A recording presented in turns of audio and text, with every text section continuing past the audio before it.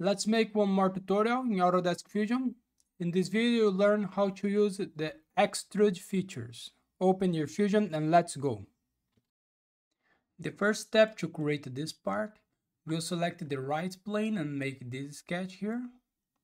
Here will be the midpoint. And the first thing that we make, we'll create this sketch, these lines, okay? We have the dimensions here, 100 millimeters, 25, 25 and 8 millimeters here. So open your Fusion, go to create a sketch and select the right plane. Select line, make the sketch here.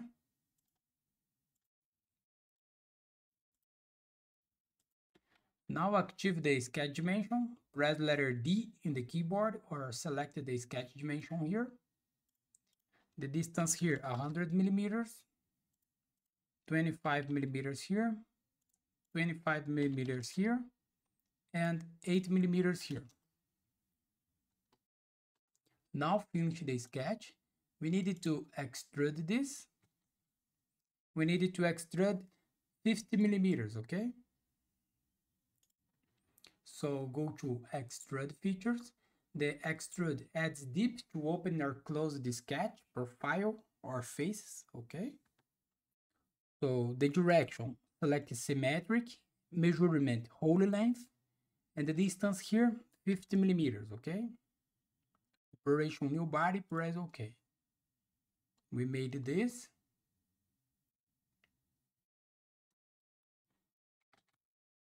Now we need to create this hole here.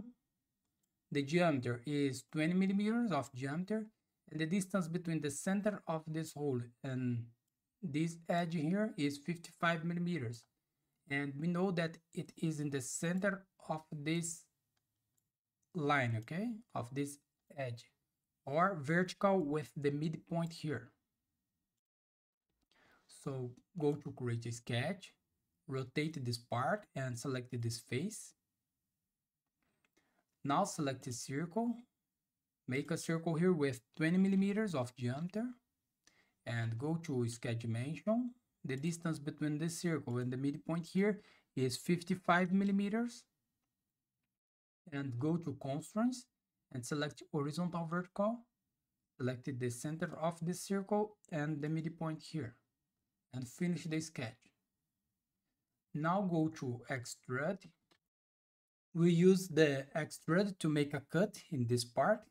The profile, select this circle here the operation here is cut. And the direction one direction the extended type. Select all and flip the direction here. And press ok. We made this cut. So here we finish this exercise. So thanks for watching. Subscribe my channel for more and see you in the next videos. Bye bye